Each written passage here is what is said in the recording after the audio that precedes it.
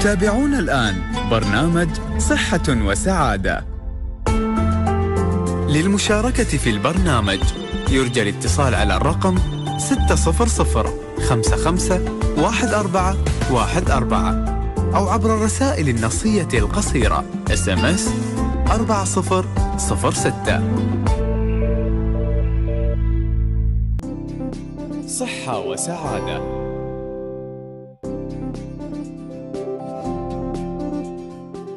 مستمعينا الأعزاء صباحكم الله بالخير وحياكم الله ويانا في برنامج صحة وسعادة، برنامج صحة وسعادة اللي تقدم لكم إياه هيئة الصحة بدبي بالتعاون مع مؤسسة دبي للإعلام وعبر إذاعتنا المميزة إذاعة نور دبي. خلال البرنامج إن شاء الله بنتطرق لمواضيع طبية وصحية بتهمكم وتفيدكم ويسرنا ويسعدنا استقبال استفساراتكم مداخلاتكم أي مداخلة عندكم استفسار اقتراح على أرقام التواصل ويانا في البرنامج. ذكركم بأرقام التواصل بعد ما رحب فريق العمل وياي اليوم في الإعداد حسني البلاونة في الإخراج ميث أبيات وتقدم الحلقة اليوم لكم دكتورة عاشة البسطي. حياكم الله ويانا. أذكركم بأرقام التواصل 600 551 414 الرسائل النصية على 4006 حياكم الله. اليوم مواضيعنا متنوعة مثل ما عودناكم سواء تقذوية سواء صحية وطبية. بنتطرق لكذا موضوع اليوم جدا مهم. آه طبعا نحن عارفين آه بالنسبة لي آه فقراتنا التغذوية تكون متنوعة. كل يوم عندنا فقرة متنوعة مختلفة عن الفقرة الثانية. آه بالنسبة هالفترة آه تركيزنا يمكن من يومين لاحظتوا أن على المرأة الحامل آه، آه، بخصوص الرضاعة الطبيعية. اليوم بنتكلم أكثر بخصوص آه، فترة تغذية المرضع. المرضع يعني خلال فترة الرضاعة الطبيعية تحتاج لتغذية. صح أن نفس تغذيته المفروض الواحد ياكل يعني طبقة المتنوع سواء الفيتامينات الكربوهيدرات البروتينات. بس آه، بعد آه، السيدة المرضع لها يعني أشياء معينة تحاول تركز عليها أكثر في هذه الفترة. الرضاعة تعتبر كذلك مجهود بالنسبة للسيدة المرضع. وفي أشياء معينة تحتاج تركز عليها أكثر. على أساس تمدها بالطاقة تمدها بالنشاط تمدها يعني جسمها ما يخسر الفيتامينات اللي تحتاجها بشكل يومي. اليوم ويانا الأستاذة هنادي حسني القبيش أخصائية التغذية العلاجية بهيئة هيئة الصحة بدبي تكلمنا اليوم عن تغذية المرضع. صبحت الله بالخير أستاذة هنادي. صباح النور هلا. آه هلا أهلا فيك. هلا رح نتكلم اليوم عن آه تغذية أثناء الرضاعة الطبيعية. هلا مرحلة الرضاعة الطبيعية هي مثل ما تفضلتي من أحد أهم المراحل المهمه في حياة المرأة من المهم جدا الحرص فيها على التغذية الملائمة والسليمة. ولازم تعرف إنه المرأة المرضع جسمها هو مصنع لإنتاج الحليب وليس مخزن له وعملية تصنيع الحليب بتم استهلاك العديد من العناصر الغذائية والسعرات الحرارية. تقريبا هي في عملية الرضاعة بتستهلك ما يقارب من 200 إلى 500 سعرة حرارية في اليوم. وبتخسر كمان كثير آه، من العديد من العناصر المعدنية والغذائية من جسمها. بالتالي توجب عليها تعويضها مشان تتلافى حدوث أي نقص في جسمها. آه، مشان هيك لازم تتناول وجبات غذائية متوازنة تلبي احتياجاتها كمرضع من أهم هاي العناصر الغذائية اللي لازم هي تركز عليها البروتينات. هلأ البروتينات آه، بتساعد على إدرار الحليب. بتزيد من إدرار الحليب. هلأ البروتينات نفسها ما بتأثر على مكون الحليب نفسه. يعني إذا زادت هي كمية البروتينات المستهلكة ما بيغير تركيب ومكونات الحليب لكن هو بيزيد كمية الحليب المنتج. أيوة. آه بالتالي توجب عليها تتناول تقريبا من خمسة إلى ست حصص يوميا من البروتينات سواء كانت نباتية أو حيوانية مثل المصادر هاي البروتينات السمك الدجاج اللحم البيض. آه، مصادر نبات البروتينات النباتية مثل البقوليات. ولما نقول من خمسة إلى ست حصص حجم الحصة تقريبا 30 جرام أو بحجم البيضة. أيوة يعني مو بأنها آه تكون كخمس وجبات بروتينات في اليوم. آه لا خمس حصص. هي كل حصة تقريبا يعني مثلا نقول صدر الدجاج إذا كان حجمه آه متوسط بيكون تقريبا عبارة عن ثلاث حصص. فهي إذا أخذت آه كمية بروتين بحجم مثلا صدر دجاج اثنين أيوة. صدر دجاج هي بتلبي احتياجاتها من البروتين اليوم الكامل.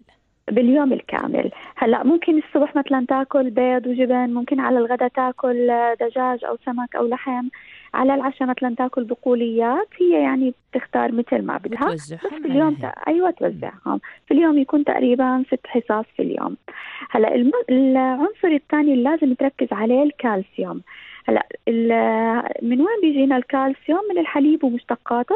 تقريبا لازم تاخذ من ثلاث لأربع أكواب حليب ومشتقاته في اليوم تقريبا حتى تلبي احتياجاتها من الكالسيوم. هلا الطفل بيعتمد آه، بالأساس على حليب الأم لغاية الست شهور. وبالتالي بستنزف هلا مكونات الكالسيوم في حليب الأم بيبقى ثابت لكن هذا الكالسيوم بيتم أخذه من جسم الأم. إذا ما تم تعويضه بالتالي ممكن يصير عندها هشاشه عظام أو يأثر على مستوى الكلف عندها وبالتالي تعريضها لمشاكل صحية فيما بعد. بالتالي لازم هي تتناول الكميه الكافية من الحليب ومشتقاته حتى تزودها بكمية الكالسيوم اللي جسمها بيحتاجه. أيوه. وبالتالي وكمان لازم تركز على الخضار والفاكهة عشان تأخذ احتياجاتها من الفيتامينات والمعادن. وتقريبا لازم تأخذ من خمسة إلى ست حصص في اليوم من الفاكهة والخضار المتنوعة. وحجم الحصة تقريبا بالنسبة للفاكهة حبة متوسطة. بالنسبة للخضار نص كوب إذا كان خضار مطبوخة أو كوب من الخضار الطازجه المجموعة الثالثة اللي لازم تركز عليها النشويات والكربوهيدرات المتنوعة والتركيز على الكربوهيدرات المعقدة اللي بتحتوي على آه، نسبة عالية من الألياف مثل الخبز الأسمر البرغل الشوفان. أيوة. وكمان ما تنسى آه، تزيد من استهلاك السوائل لأنه هي بعملية الرضاعة بتفقد جسمها كثير من السوائل بالتالي لازم تعوضها. بشرب الماء الشربات المشروبات الساخنة أو العصائر الطبيعية. تقريبا لازم تأخذ في اليوم ما يقارب من 2.5 إلى 3 لتر باليوم. والسوائل كمان بتزيد من إدرار الحليب. أيوة. كل ما شربت سوائل أكثر بزيد كمية إنتاج الحليب عندها. أيوة. هلأ في عنا أشياء نفس الوقت في أشياء قلنا تركز عليها نفس الوقت في أشياء لازم تنتبه من تناولها أو تخفف من تناولها مثل الفرط في تناول المشروبات العالية بنسبة الكافيين مثل القهوة والشاي المشروبات الغازية أيوة. آه، أكل الشوكولاتات. لأنه الأبحاث بتقول إذا هي تناولت تقريبا في اليوم 150 ملي جرام من الكافيين المستهلك هذا بيتم تمرير تقريبا 5% منه إلى الطفل عبر حليب الأم. وهذا بالتالي بيأثر على حدوث اضطرابات ومشاكل في نوم الطفل أو حتى اضطرابه طول اليوم بيكون يعني آه وضعه مو طبيعي صح و5% آه يعني للطفل يعني أيوة. جزء من يعني بعد كمية يعني ما بيعتبر شيء بسيط آه أيوة. لطفل بتأثر يعني عليه بيكون تأثير ملحوظ هلأ كمان آه لازم تبتعد عن الأطعمة اللي بتسبب الغازات والنفخة أيوة. مثل البروكلي الخضروات الغازية البقوليات. هلأ البقوليات ممكن إضافة بعض البهارات مثل كمون عليها مشان تقلل من النفخة وطبخها كمان. هلأ إذا كان هي جربت هاي الخضار وما بتسبب لها أي مشاكل أو لطفلها فيها تتناولها. ممتاز. أيوه وكمان لازم تقلل من تناول الأطعمة المصنعة والمقلية والوجبات السريعة لإحتوائها على كميات عالية من الصوديوم والسكريات. ونصيحة أخيرة أنه عدم اتباع رجيم قاسي آه لإنقاص الوزن, أثناء الرضاعة الطبيعية وخاصة خلال الثلاث شهور الأولى بعد الرضاعة. آه لأنه اتباع رجيم قاسي قد يؤثر إلى تعرضها إلى حدوث نقص في الفيتامينات ومعادن مهمة لجسمها وبالتالي حدوث مشاكل صحية عندها.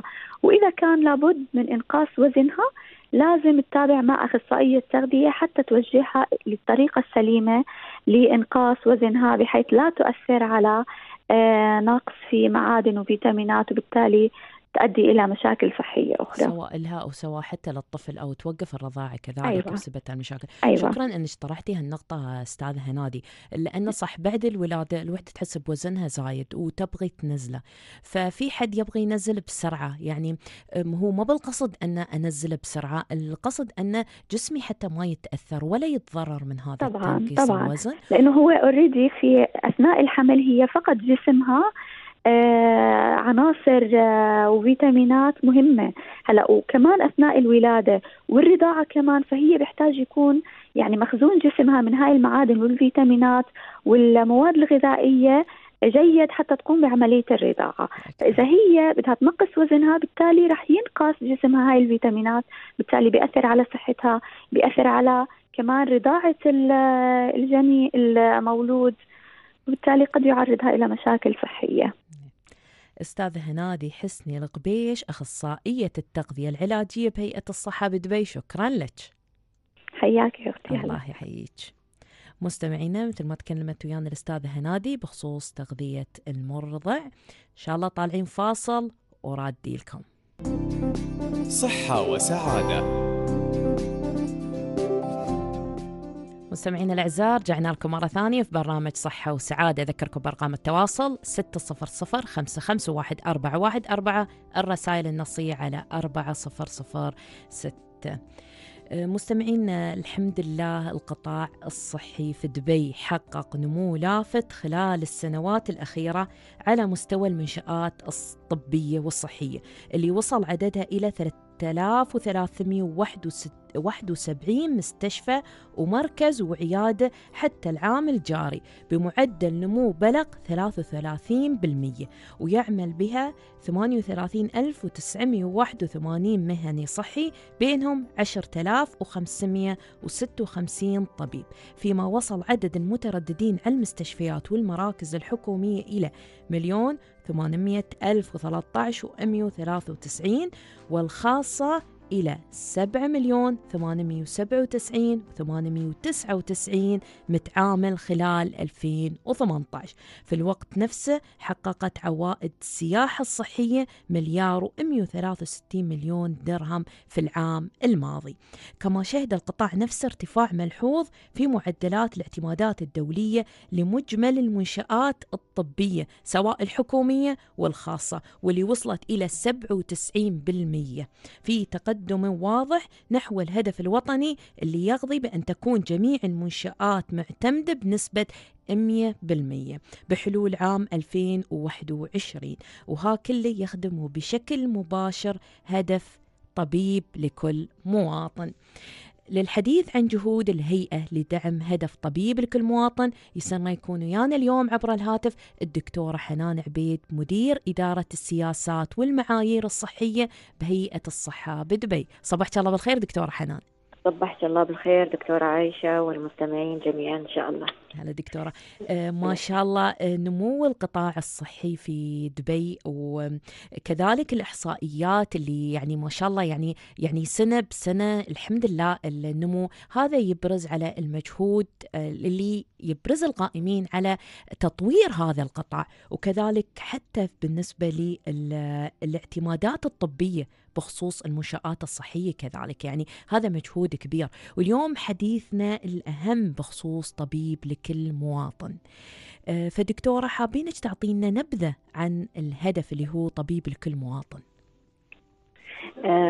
طبعا تماشيا مع وثيقة الخمسين التي أطلقها صاحب السمو الشيخ محمد بن راشد المكتوب نائب رئيس الدولة رئيس مجلس الوزراء حاكم إمارة دبي. رعاه الله. في توفير طبيب لكل مواطن وتوفير الاستشارات الطبية للمواطنين على مدار الساعة وطوال أيام الأسبوع.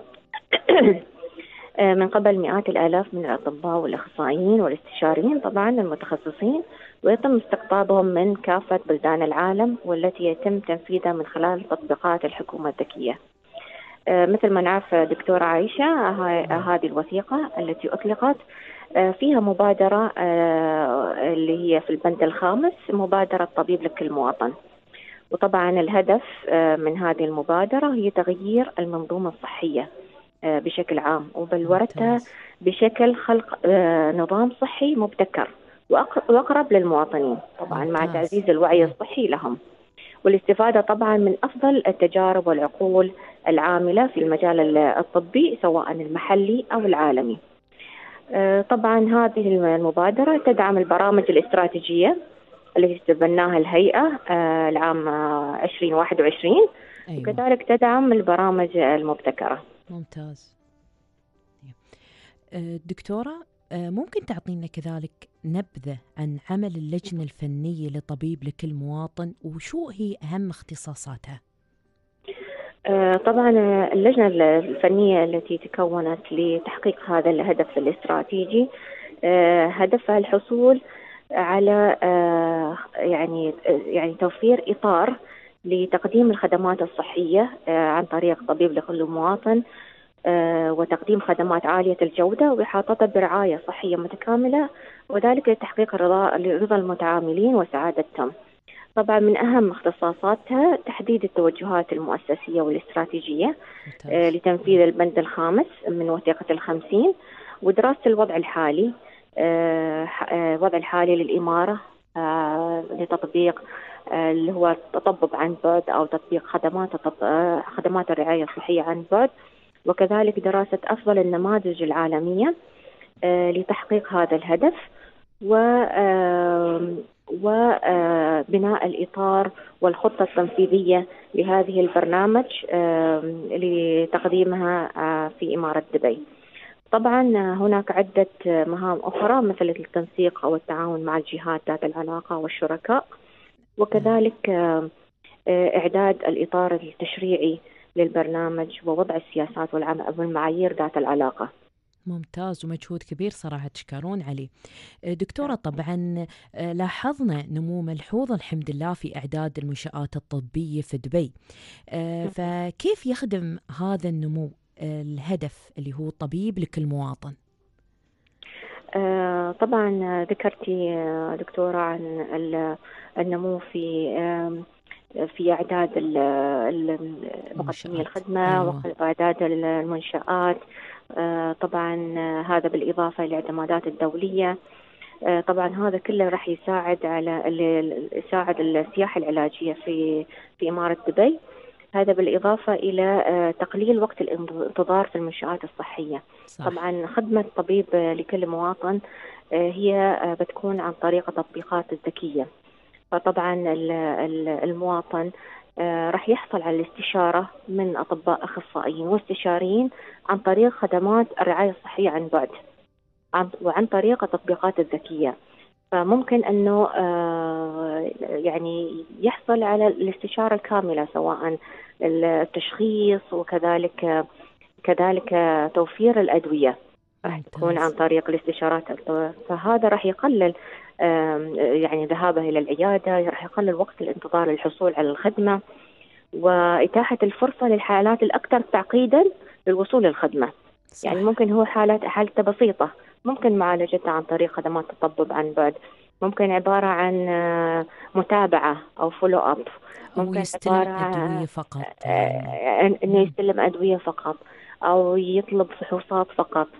فهاي الخدمات ممكن أنها تقدم عن طريق آه، الخدمات تطبق بعد فبيصير هناك فرصة للحالات اللي هي أكثر تعقيدا والحالات اللي هي تحتاج فحص طبي إنه يتوجه على المراكز الصحية أو المستشفيات فبيكون آه، يعني الخدمة more accessible يعني للناس اللي محتاجين هاي الخدمة صح. بشكل آه، وحتى وقت الانتظار نفس ما ذكرت يعني وقت الانتظار بالنسبة للمراجع يعتبر شيء وايد كبير. يعني طبعا. يعني كل ما قل وقت الانتظار كل ما كانت سعادة المتعامل وحتى رضاه كل ما كانت أكثر.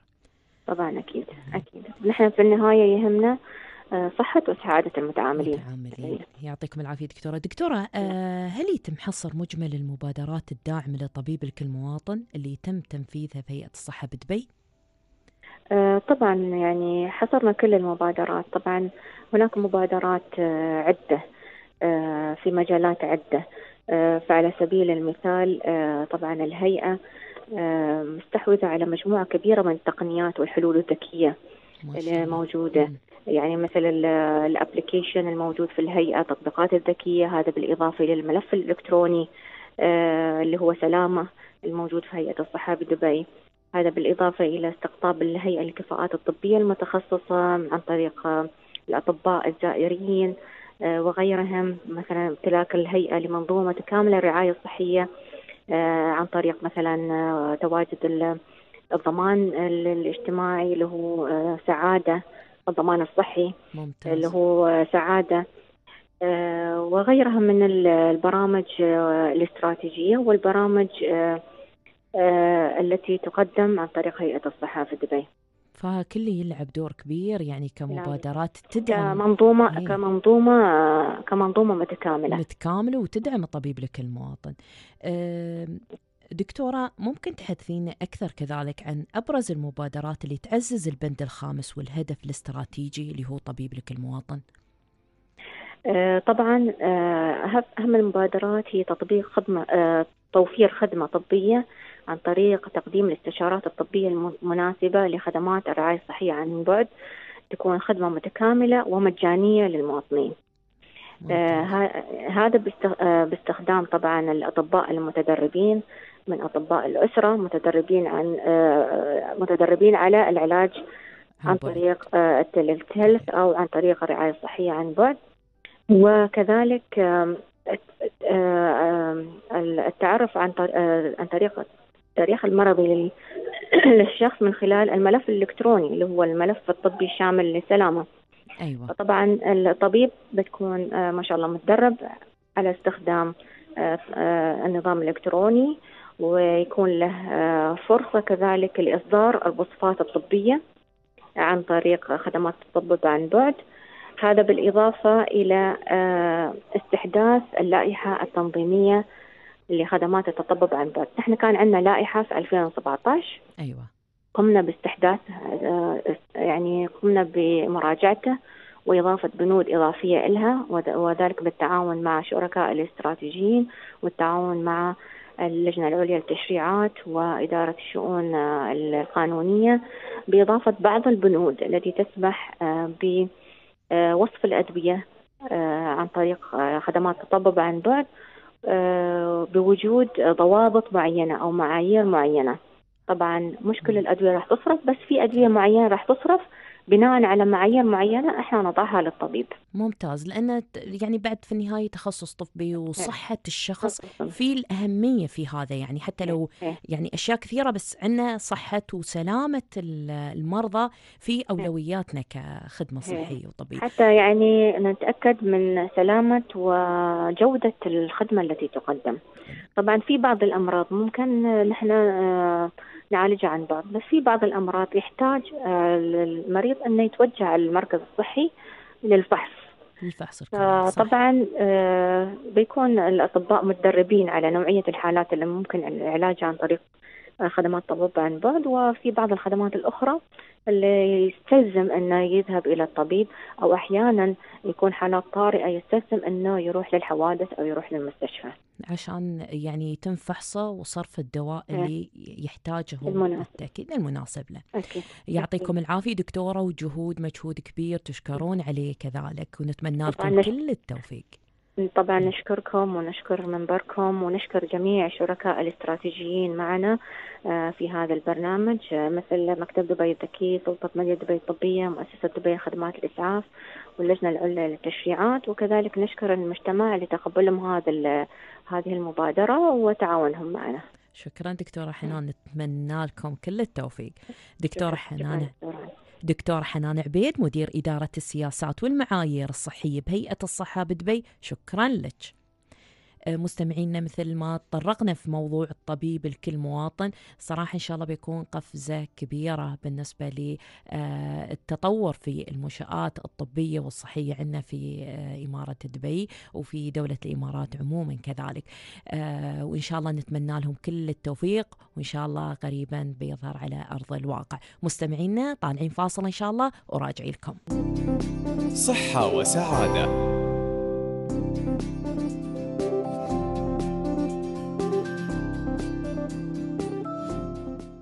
مستمعينا الأعزاء رجعنا لكم مرة ثانية في برنامجكم صحة وسعادة. أذكركم برقم التواصل ويانا 600 551 الرسائل النصية على 4006 حياكم الله. الحين دور موعد دراستنا. الدراسة اليوم تقول دماغ الرجل أم المرأة؟ دراسة تكشف الفارق المذهل. كشفت دراسة علمية حديثة أجراها فريق من الأطباء في أحد الجامعات بالولايات المتحدة عن فارق مذهل بين أدمغة الرجال والنساء لا سيما فيما يتعلق بالذاكرة. وأكدت نتائج الدراسة اللي أجراها الباحثون في من كلية الطب جامعة واشنطن في سانت لويس بولاية ميزوري أن أدمقة الإناث بدت أكثر شبابا بنحو أربع سنوات مقارنة مع أدمقة الذكور من العمر نفسه. وأظهرت الدراسة اللي شملت أكثر من 200 شخص من النساء والرجال أن دماغ المرأة تفوق على دماغ الرجل في اختبارات حدة الذاكرة بشكل كبير لا سيما عند التقدم في العمر. وأشارت نتائج الدراسة كذلك اللي استندت إلى صور مقطعية لأدمغة عدد من الرجال والنساء تراوحت أعمارهم بين 20 و 82 سنة. إلى أن دماغ المرأة كان أكثر شبابا من دماغ الرجل من الناحية البيولوجية بنحو ثلاث سنوات وثمان أشهر. يعني نفس الأول شيء تقريبا أربع سنوات. ولم تكتف الدراسة على الصور المقطعية الدماغية لدى الرجال والنساء بل استندت أيضا إلى تأثير حرق الجسم للسكر وتأثير ذلك على عمل الدماغ لدى الاثنين. وقال مانو جو جويال من كلية الطب جامعة واشنطن أن نتائج الدراسة تقدم تبريرا منطقيا بشأن ميل النساء للتوفق على للتفوق على الرجال في الاختبارات الإدراكية في السبعينيات من العمر. وأوضح جويال أن نتائج الدراسة تعطي تفسير للأسباب الكامنة وراء عدم تدهور الجانب الإدراكي والمعرفي لدى النساء مع التقدم في السن وذلك لأن أدمغتهن أصغر سنا وتبقى تعمل بشكل فعال. سبحان الله آه، دراسات كل يوم تكشف مواضيع جديدة آه، والجميل في الدراسات كذلك أن تحس سبحان الله الواحد يكون عنده تشوق أن يعرف شيء جديد عشان شي الدراسة تطلع. مرات شيء بسيط يعني أن الشخص يدرس شو الفرق بين دماغ الرجل بس تعطيك مرات أشياء جديدة. في آه، في عالمنا وتعرف أشياء كثيرة سبحان الله يمكن الواحد قبل ما كان يعرفها خاصة في الأشياء الإدراكية الحسية آه هالشيء يقدر حتى أي منشأة تستفيد منه أي شخص يقدر يستفيد منه. آه تطوير بيئة العمل تطوير المكان نفسه. فسبحان الله مرات دراسات معينة تشد انتباه الواحد ويمكن سؤال بسيط يخطر على بال أي واحد فينا. آه بس إجابته تكون تكون مهمة والناس كثيرة. مرات حتى يعني يكون سؤال جدا بسيط. يعني العالم لو ما فكر في هالسؤال أو الباحث لو ما فكر في هالسؤال حتى لو كان بسيط يمكن ما كان بيلقى له إجابة ويمكن كانت الإجابة ما بتكون على مستندات علمية.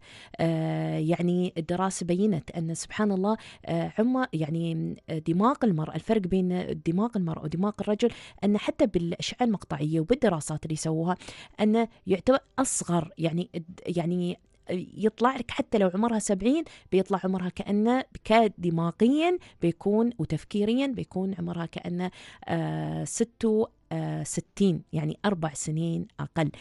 آه هالموضوع نتطرق لموضوع يمكن مهم الحين خلال أيامنا هذه. ناس وايد قامت تشتكي منه. هم ذكروا من ناحية آه، بخصوص الذاكرة في هذه آه، في هذه الدراسة اللي هو فارق مذهل بين أدمغة الرجال والنساء لا سيما فيما يتعلق بالذاكرة. آه، يمكن بعد سبحان الله طبيعة المرأة من نوع الدقيقة في كل شيء فهذا بعد يعطيها أكثر من نوع من التركيز والدقة في آه، مواضيع معينة فأكثر تكون لازقة في ذاكرتها. نتكلم عن موضوع الذاكرة. آه والنسيان عموما. يعني عندنا أسباب وايد يمكن والحين ناس وايد يمكن تشتكي أنسى بسرعة آه ما أقدر أتذكر أحفظ وأنسى هالشيء. آه نسيت آه آه يعني مواعيد معينة مهمة نسيت آه شيء معين فأضطر مرات اكتبه مرات مع زحمة الحياة الأشياء الواحد عنده التزامات كثيرة. صح يعني كم الواحد بيجمع فيضطر يحطها. بس في مرات أشياء بسيطة نبتدي ننساها أو نحس أن ذاكرتنا ابتدت أخف عن قبل. هو يعتمد على العمر كذلك بس من ناحية مرات يكون واحد في مقتبل الشباب أو صغير يقول لك نسيت نسيت حاولت أركز بس مو بقادر كذلك على التركيز. في هذه النواحي يعني أول ما نبتدي نحس أن ابتدينا ننسى بسرعة ما أقدر أركز أكثر. يفضل أني أسوي تحليلات تحليل شامل بحيث أنه يفرق لي. في أسباب كثيرة بالنسبة لي اللي بتأثر على ذاكرتي أو بتأثر على حتى تركيزي. منها بداية يمكن ببتدي بالأشياء اللي هي شايعة عندنا بشكل كبير اللي هو نسبة الهيموغلوبين أو قوة الدم تكون قليلة. يعني الشخص عنده احتمال كبير يكون عنده أنيميا. سواء أسباب الأنيميا كثيرة سواء نقص الحديد اللي هو الدارج الكثير أو الأنيميا بسبب نقص فيتامين بي 12 أو بسبب فقدان للدم بكميات كبيرة ويؤدي كذلك إلى فقدان الحديد. فهذه واحد من أكثر الأسباب واحد من الأسباب اللي هي الأنيميا.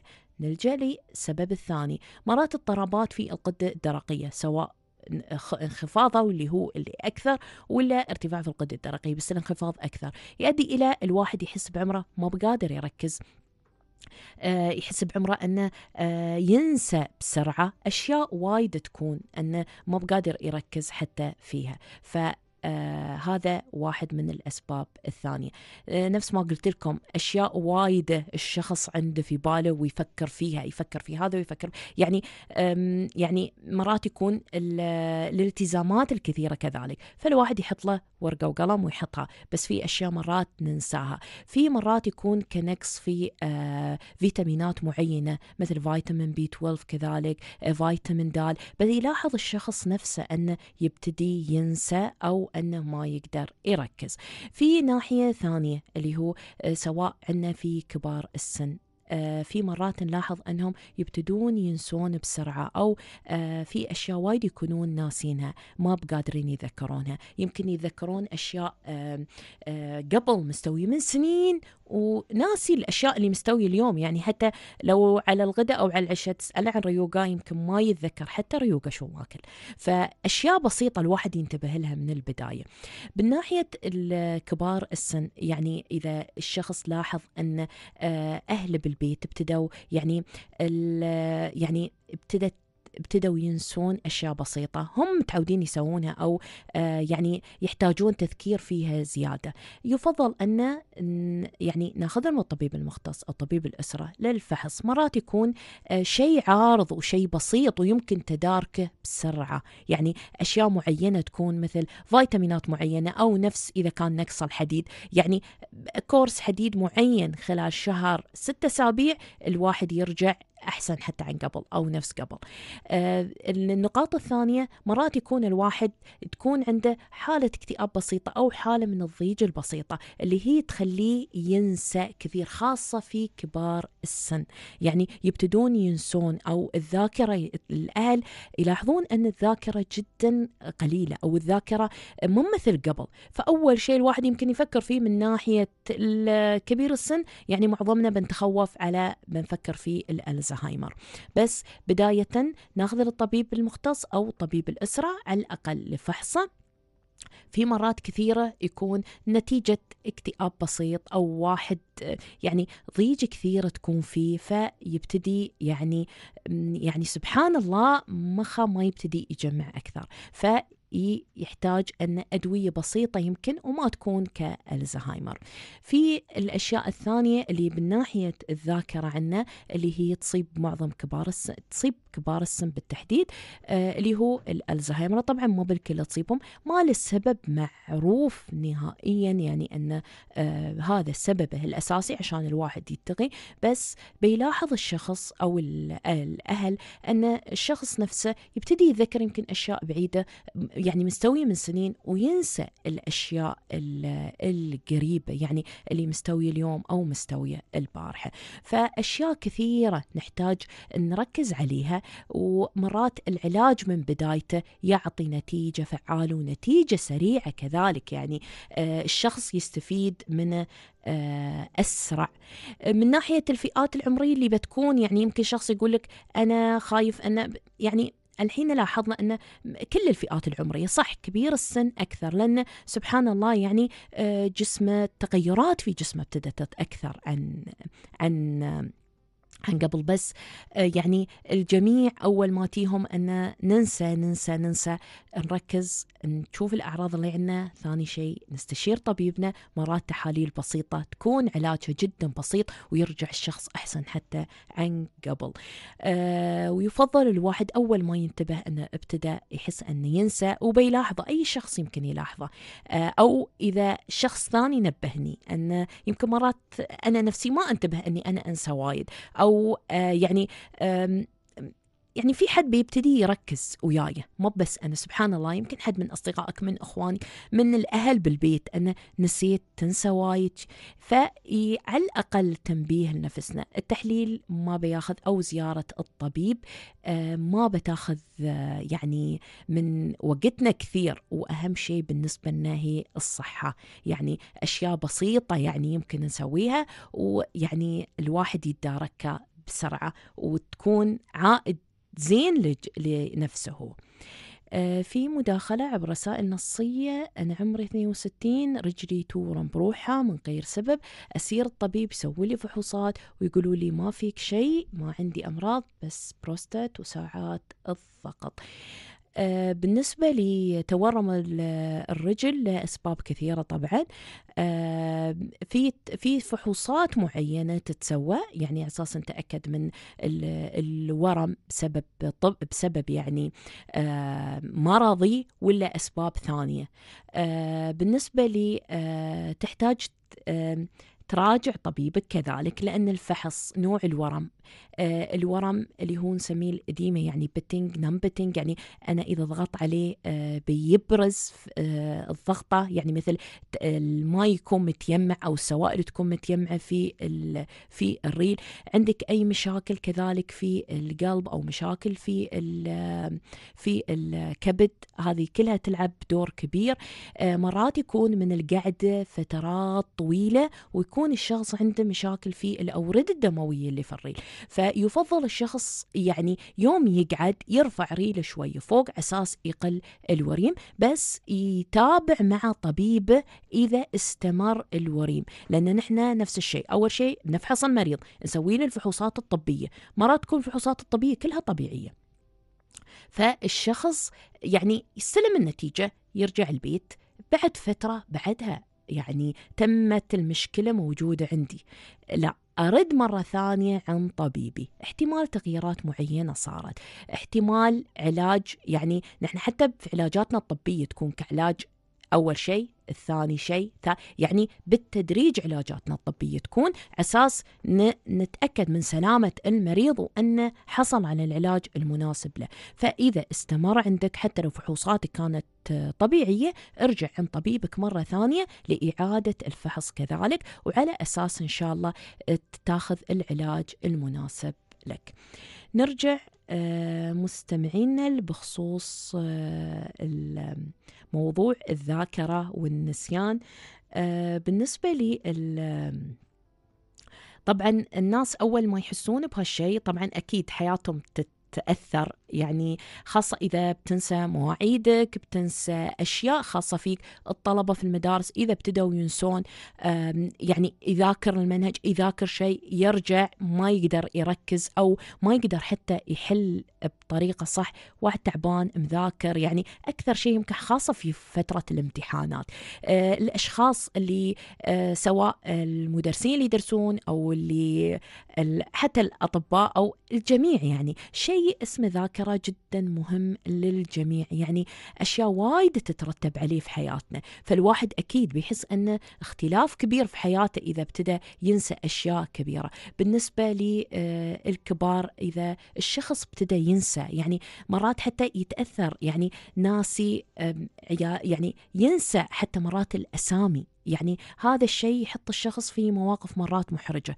آه، أو ينسى الأشياء الضرورية في حياته أو ينسى أشياء كثيرة. يعني فرضا حساسية عنده من أدوية أو حساسية عنده من أشياء. يعني تترتب عليه أشياء كثيرة سواء النسيان أو الذاكرة. فالواحد يهتم أول نصيحتك أن لا ابتديت أو أنا انتبهت لعمري. فيفضل الفحص الطبي أساس نتأكد. نفس ما قلت لكم مرات تكون أشياء جدا بسيطة يعني الهيموغلوبين نازل عند الشخص أنيميا ياخذ عليها علاج والحمد لله يتحسن. وظائف القد الدرقية أخذ عليها علاج تتحسن. مرات الواحد يكون من كثر الضغوطات اللي عنده. تبتدي نطلب المساعدة كذلك تترتب وحد يساعدنا في ترتيب أولوياتنا أو حتى في تعليمنا كيف نقلل من هاي الضغوطات في حياتنا أو نقلل من طريقتنا في التعامل مع هذه الضغوطات لأن تلعب دور كبير هذه هذا الشيء. يعني طريقتنا في التعامل مع هاي الضغوطات تلعب دور كبير. بالنسبة لكبار السن نفس الشيء. في حالات كثيرة تكون آم آم الأهل يتوقعون احتمال ألزهايمر ابتدى ينسى آخر شيء يكون عنده اكتئاب أو يكون عنده آه، ضيقة فهي اللي مسببت له هذه الأعراض. الحمد لله عندنا عيادة متخصصة بهالشيء اللي هي عيادة الذاكرة كذلك في المراكز الصحية يعني تهتم بهذه المنظومة بالنسبة لكبار السن. آه، بالنسبة للوقاية طبعا أشياء كثيرة نحتاج نقي نفسنا من نقي نفسنا قبل ما نبتدي بالعلاج فيها. والوقاية دائما مثل ما نذكركم دائما الوقاية خير من العلاج. ننتبه لي بداية ننتبه لي الأكل. الشيء اللي يدخل جسمنا. يعني يكون متكامل كل عناصر الغذائية عشان ما يستوي لي نقص في أي شيء من ناحية جسمي ويأثر في النهاية على على جسمي نفسه. هذا أول شيء. بالنسبة لي ثاني شيء. بالنسبة إذا أول ما ألاحظ أني أنا تعبت. أنا ابتديت أنسى بسرعة. أنا آه، مستواي ابتدى ينزل. ليش؟ آه، الأطفال إذا الأهل لاحظوا مستواهم الدراسي ابتدى ينزل. ينسون وايد. ما يقدرون يركزون. هذا الشيء بعد يلعب دور كبير. يعني الواحد ينتبه من البداية يسوي له الفحوصات اللي يحتاجها. وكذلك عشان ياخذ العلاج اللي يحتاجه من البداية. يمكن كورس فترة معينة ويبتدي يرجع لطبيعته وأحسن حتى عن طبيعته السابقة. ومثل ما قلنا بالنسبة للشخص أول ما يحس بهالتغيرات أو اللي حوالينه يحسون بهالتغيرات يفضل أنه يراجع مع طبيبه المختص عشان آه مع طبيب المختص عشان الفحوصات اللي يحتاجها. طبعا الذاكرة دورها وايد كبير في حياتنا وأي واحد يمكن ينسى يوم واحد شيء يحس أنه متضيج. أن نسى أشياء آه، يعني حتى لو أشياء عادية تمر باليوم فما بالك إذا نسى أشياء تكون يعني مهمة في حياته لها علاقة بشغلة لها علاقة بحياته ككل. ومعظم الناس يمكن الحين التخوف اللي يجيهم أول ما يبتدي الشخص ينسى خاصة إذا كان كبير بالسن على طول التفكير بالزهايمر أو التفكير أن خاصة الأهل يعني.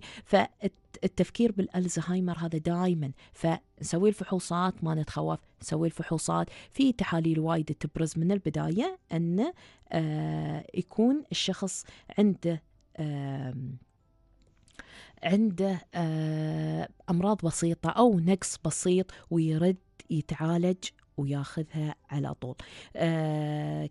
كذلك يعني يمكن الانتشار الزهايمر عندنا فالناس ابتدت على طول أي نسيان أي ضعف الذاكرة الواحد يتطرق أنه يكون كألزهايمر بس مو بكل نقص في الذاكرة يعتبر كألزهايمر. أسباب كثيرة كذلك آه، تؤدي إلى هذه الشيء. تكون مرات أسباب آه، كبيرة عشان شيء نلجأ إلى طبيبنا المختص سواء فحوصات طبية بسيطة وتطلع أو سواء أنه تحتاج علاج وعلاج يستمر ومتابعة فالشخص نفسه يعني على الأقل يكون في مأمن من أشياء كثيرة وترتيبات أكثر يمكن تصير له مستقبلا. مستمعينا الأعزاء وصلنا لنهاية حلقتنا لليوم.